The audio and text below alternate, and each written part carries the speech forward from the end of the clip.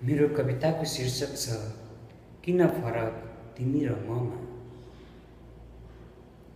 मेरो बुबाले थुकेको थुक जस्तो अनुहार मेरो आमाले मुतेको मुद जस्तो अनुहार काटी कुटी उस्तै उस्तै लाग्छ तिम्रो र मेरो बनावट तर किन फरक तिमी र ममा म कालो तिमी सेतो म सेतो तिमी कालो के यो रङले फरक हो? म पूर्वमा बस्छु तिमी पश्चिममा। म दक्षिणमा बस्छु तिमी उत्तरमा। के यो दिशाले फरक हो? म दुर्गम बस्ती गाउँमा बस्ने गाउँले तिमी स्रोत साधनले सम्पन्न सहरमा बस्ने सहरिया। के यो बसाइले फरक हो?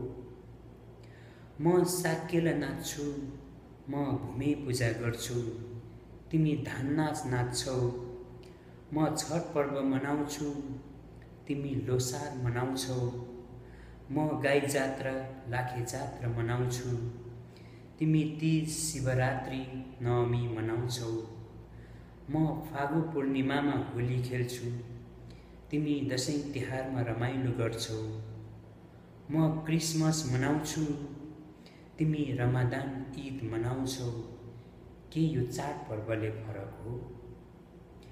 म मस्जिद जान्छु तिमी मन्दिर धाउँछौ म चर्च जान्छु तिमी गुम्बा धाउँछौ के यो धर्मले फरक हो? म आरनमा काम गर्छु तिमी खेतबारीमा किसानी गर्छौ म सूचीकारको काम गर्छु तिमी पुरेत्याइ गर्छौ। म चौकीदारी गर्छु तिमी दिमागको काम गर्छौ। के यो कर्मकाण्डले फरक हो?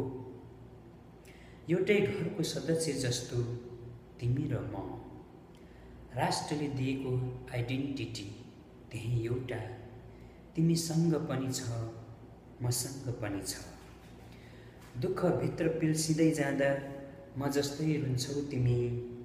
खुसी प्राप्तिमा म जस्तै हाँस्छौ तिमी।